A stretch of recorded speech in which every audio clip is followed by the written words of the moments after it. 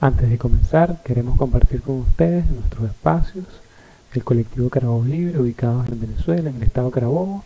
Hacemos vida en la aldea universitaria, en la aldea bolivariana para Paral, y en los espacios del laboratorio Don Luis Zambrano, espacios de innovación popular para la comunidad.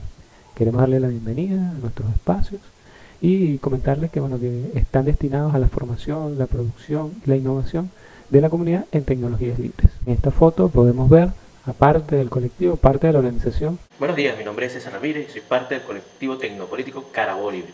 Un colectivo que nace hace ocho años, el 21 de septiembre cumplimos ocho años, y nace en el marco del proyecto Canaima Educativo, un proyecto muy bonito del Ministerio de Educación de aquí de la República Bolivariana de Venezuela, un proyecto que nace para la entrega de laptops a los, a los niños desde primaria y secundaria. Y bueno, nuestro colectivo nace en virtud a unas necesidades que surgen a, a, partir de ese proyecto Canaima. Ese proyecto genera algunas necesidades, sobre todo de formación, la formación en la parte docente, la formación en la parte de los jóvenes, los niños, el soporte técnico y nosotros, bueno, surgimos, a partir de ahí, hace ocho años surgimos, creando este colectivo tecnopolítico Carabobo Libre. Gracias César por esa introducción. Eh, bueno, mi nombre es David Ramírez, pertenezco también a esta organización eh, que busca transitar todos los caminos, los difíciles caminos de la construcción de un sistema económico comunal, un sistema económico comunitario.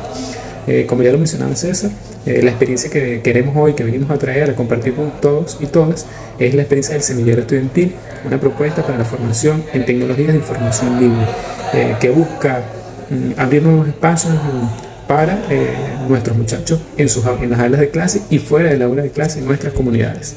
El Ministerio de Educación forma lo, lo que se llamó los congresos pedagógicos. César, coméntanos porfa cómo nace la experiencia. En cada municipio nosotros contamos nuestra experiencia y, muchas, y esas experiencias fueron siendo seleccionadas para ir a, después al Estado y después al país. Al final, nosotros eh, logramos unir varias experiencias que tuvimos ¿ya? con el proyecto Canaima y lo llevamos a Caracas, a un Congreso Nacional. Esta propuesta desarrolló un lapso eh, estimado entre el 2014 y el 2018. Durante estos años participamos en los congresos pedagógicos eh, y fueron, por supuesto, cada año incluyéndose, ¿no? adicionándose eh, más mm, contenido y más fortaleza en nuestro proyecto. En el año 2014, cuando estábamos iniciando, eh, afortunadamente tuvimos un proceso formativo en La Habana, Cuba, en el Instituto Latinoamericano y Caribeño eh, de Pedagógico. Esto fortaleció mucho más el proceso de investigación y el proceso metodológico. Ahí nació, en esa construcción en colectivo de varios docentes que tenían experiencia en la CANEMA, surgió una formación para nuestros estudiantes. Desde el colectivo Carabobo Libre junto con otros docentes, formamos esta experiencia de semillero estudiantil. Hola, mi nombre es Lilianis Reyes, especialista en educación especial, máster ABA en conducta para chicos con autismo, parálisis cerebral y dificultades en el aprendizaje. Hace un tiempo participé en el colectivo de, de, autores acerca de la escuela, una fábrica del saber inclusivo, tecnológico, productivo y liberador. En ese momento nos congregamos una cantidad de profesores eh, para crear un ambiente que realmente fuera inclusivo desde las necesidades de nuestra población, donde eh, queríamos que más que incluirnos como una parte más o que adecuáramos ya la malla curricular que consideraba la tecnología para nuestros chicos, era que se creara una, una parte para ellos, para que ellos tuvieran de verdad la verdadera inclusión y en ese momento también hicimos énfasis en que aprovechando y partiendo de la tecnología eh, se verían beneficiados eh, extraordinariamente nuestra población con chicos con autismo, ya que el mayor reto para ellos es la comunicación.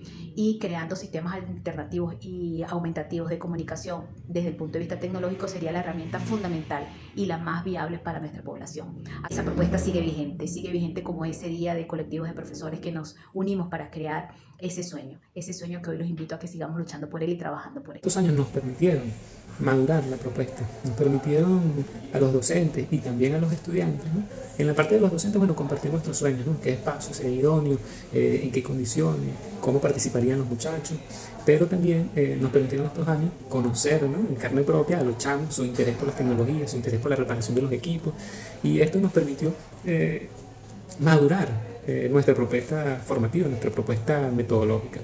recordemos que la propuesta está enmarcada en lo que es la investigación, acción participativa bueno, todos los involucrados eh, formamos parte de la investigación, no, no solamente los, profesores, sino los chicos, eh, son los más importantes en esto ¿no? y le dan vida a nuestro proceso de formación. Es importante saber que en estos congresos eh, cada docente participaba con una investigación, pero en el recorrer de estos procesos las, las investigaciones se enmarcaron en, en, una sola investigación, que es la, la, escuela, una fábrica del saber inclusiva, productiva y liberadora.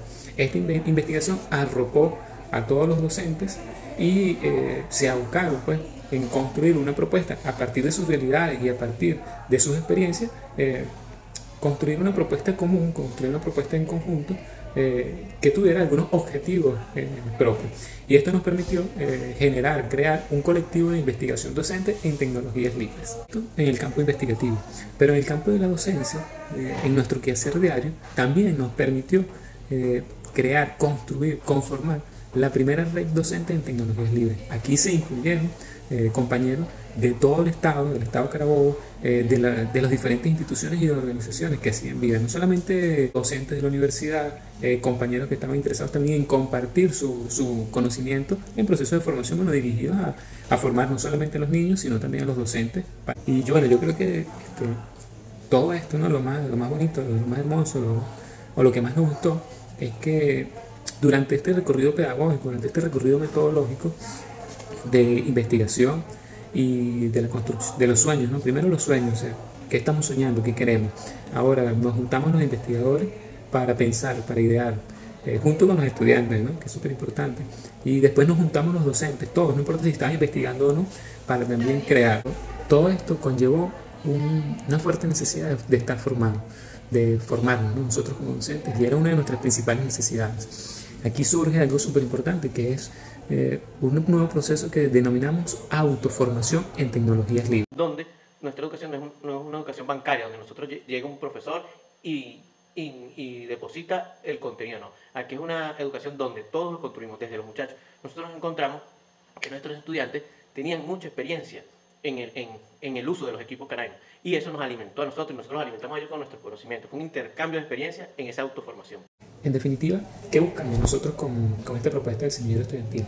Pues nada, en principio, llevar la tecnología para los chavos. Eso es lo que estamos buscando en esencia. ¿no? Y por supuesto, ¿cómo? ¿A través de qué forma? ¿Cómo lo vamos a hacer? Bueno, eh, pensamos que lo primordial es reinventar nuestros espacios formativos y este, quitarnos ¿no? esas cuatro paredes del salón de clase y llevar los procesos formativos fuera del aula de clase eh, a cualquier espacio de nuestra institución. Pero vamos, queremos ir un poco más allá. Buscamos transformar la escuela creando espacios de conocimiento liberador, innovador, creativo y con un nuevo modelo de producción socialista que va desde lo individual a lo colectivo, que busca desde el hacer construir conocimiento. Este semillero estudiantil está enmarcado en tres raíces ideológicas. La primera, la de Simón Rodríguez, que nos habla de que debemos tener una educación técnica para hacerla experta y una educación científica para hacerla pensadora. La segunda vertiente es la del presidente Chávez, que es buscar la sociedad del talento, que no es más que pasar de la sociedad del conocimiento, ir más allá, ir a la, una sociedad con conocimiento, con sabiduría, y pasar de esa sociedad a una sociedad del talento, una sociedad creativa, una sociedad creadora. La tercera raíz es la del tecnólogo popular don Luis Zambrano, que nos hablaba de los talleres populares, donde él nos decía, póngase a hacer para poder saber. Hablando sobre los alcances, va mucho más allá de, del tema numérico, pero podemos mencionar algunos. ¿no? Eh, tuvimos 116 docentes formados en el área técnica, electrónica, agroecológica e inclusiva y logramos conformar eh, cuatro, cinco semilleros eh, de, tecnologías libres, cinco semilleros estudiantiles, alcanzando un total de 212 niños. Pero, como les decía, el tema del alcance no es numérico y lo pueden ver con este ejemplo que les queremos mostrar ya para cerrar nuestra presentación. Hola, mi nombre es Andrea y les vengo a hablar hoy sobre mi experiencia con el semillero estudiantil. Hace años, cuando estaba en el liceo, se nos dio la oportunidad de entrar a grupos estables, ¿verdad? En, la materia en la que tú quisieras. Sin embargo, cuando yo vi las materias en las que, está, las que habían disponibles, ninguna me llamaba realmente la atención. Y a mí se me ocurrió la idea de abrir una materia en la que se pudiese hablar de computación. Yo le pregunté a los chicos de Carabobo Libre si me podían asesorar y ayudar con las clases y me dijeron que sí. Entonces fui a mi liceo y pregunté directamente si yo podía planificar o abrir una clase de computación. En mi liceo me dieron la oportunidad y me, dieron una profesora para que me asesorara con la planificación de las clases, con las clases como tal y mantener a los muchachos más tranquilos. Los chicos de Carabobo Libre fueron varias veces a la escuela y nos dieron clases de cómo reparar la canaima, de cómo cambiarle el software. De verdad que muchos compañeros de mi clase entraron a la clase porque les llamaba la atención de una clase de canaima, porque así fue como le pusimos, un eh, grupo estable de canaima. Entonces muchos querían ver cómo instalarle juegos, muchos querían ver cómo reparar canaimas que tenían en mal estado y pues estuvieron súper felices y súper contentos. Yo de verdad que quedé encantada con la experiencia.